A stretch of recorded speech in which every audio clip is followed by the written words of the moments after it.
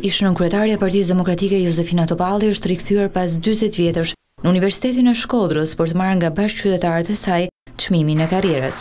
Nga qyteti të cilin e ka përfaqësuar në parlament për më shumë se dy dekada, Topalli ka rrëfyer jetën e saj gjatë diktaturës, kur familja ishte e persekutuar, duke hequr paralele mes atyre viteve të vështira e qasjes që sot kryetari i Partisë Demokratike, Lulzim Basha, ka ndjekur ndaj saj.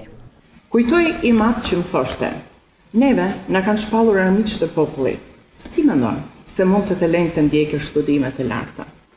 Sepse unë isha armik e popullit, unë prapë se nuk e kuptoja. Por kush mendon se historia nuk përsëritet, gabohet.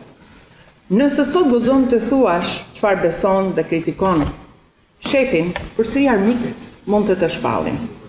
Mund të të thojnë se je përsëri e deklasuar, biles edhe kolaboracioniste.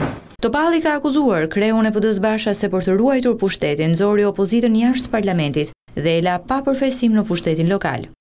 Por kurrën e kurrës nuk mund të besoja se në liri vendi ynë të vuante nga mungesa e përfaqësimit sepse dikujt për të ruajtur karrigen e vet i interesonte djegia e mandateve dhe moshyrja në zgjedhje. Para studentëve, Topalli ka deklaruar se të rinjtë janë shpresa e këtij vendi, i cili ka nevojë për lëvizje të reja politike.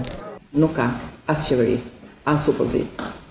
Ato kanë deformu demokracinë e brishtë ata ose bëjnë pazare ose bëjnë shantazhe ndaj njëri-tjetrit është më mirë të ikun katër shahistat e të rrinë shqiptarët këtu në vendin e tyre nëse forcat e vjetra politike nuk reformohen ka vetëm një zgjidhje një lëvizje të re Lëvizje për Ndryshim.